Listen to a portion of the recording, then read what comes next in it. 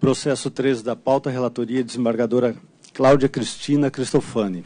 Sustentações orais por videoconferência de Curitiba pela doutora Maria Francisca Cioli Fumagalli, representando Fernando Ornox de Moura, e presencial pelo doutor Odel Micael Jean Antum, representando José Dirceu de Oliveira e Silva. Então, com a palavra, a eminente relatora. Obrigada, senhora presidente.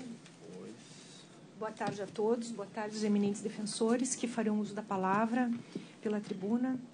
É, nesse caso, se trata de embargos infringentes de nulidade, postos, obviamente, de acordo é, que decidiu o caso por maioria, sendo que a defesa de José Dirceu de Oliveira e Silva postula a prevalência do voto vencido da lavra do desembargador João Pedro Gebran, a fim de que sejam desconsiderados os antecedentes na dosimetria da pena imposta ao embargante.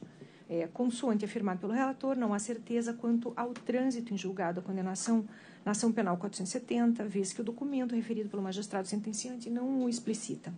Além disso, aspas, quando da execução do último fato supostamente criminoso, do qual José Dirceu foi condenado, em tese 13 de 11 de 2013, a sentença condenatória proferida naquela ação penal ainda não havia transitado em julgado. Informação que se depreende, inclusive, do julgamento de embargos de declaração interpostos pelo Ministério Público Federal. Fecha aspas.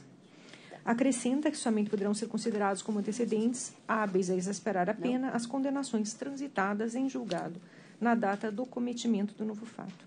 Requer também a predominância do voto proferido pelo desembargador federal Vitor Luiz dos Santos Laus, na parte em que teria apresentado divergência quanto à reparação do dano como condição para a progressão do regime de cumprimento da pena, na forma do artigo 33, parágrafo 4 do Código Penal.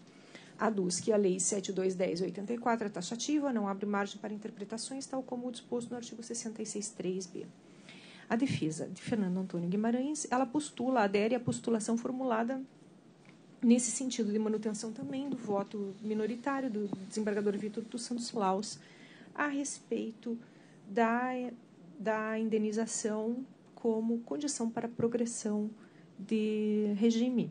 Consigna que o juiz de condenação não pode impor requisito para progressão de regime sob pena de se miscuir em questão sobre a qual não possui competência para deliberar. O douto procurador da República, oficiando no feito, opinou pelo desprovimento, sendo esse o brevíssimo relatório, senhor presidente. Então, com a palavra, por videoconferência, a doutora Maria Francisca Scioli Fumagalli, representando Fernando Ornô de Moura. Com a palavra, doutora.